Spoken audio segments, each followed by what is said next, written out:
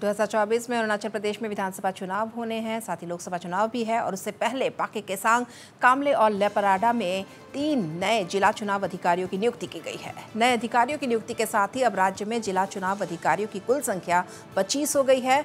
चुनाव से जुड़ी सभी गतिविधियाँ संबंधित जिला चुनाव कार्यालय में होगी, जहाँ उपायुक्त जिला चुनाव अधिकारी के रूप में कार्य करेंगे।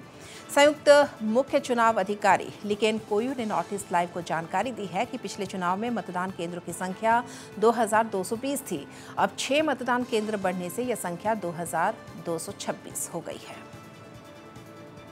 Yes, we have a total of uh, 22 district election officers.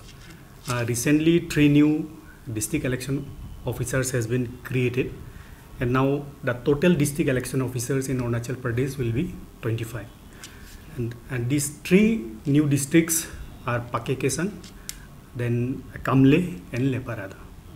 And this has been notified by the Election Commission of India by notification number uh, 508 oblique Orun oblique 2023 dated 15 November 2023. And uh, recently, uh, these three new three district election officers have also been declared as the head of office by uh, notification uh, by by uh, order number en oblique establishment and 192 uh, dated 28th November 2023. I would like to inform all the uh, citizens of Arunachal Pradesh that uh, at present there are 2,226 polling stations in Arunachal Pradesh and one can submit forms online as well as offline and and in online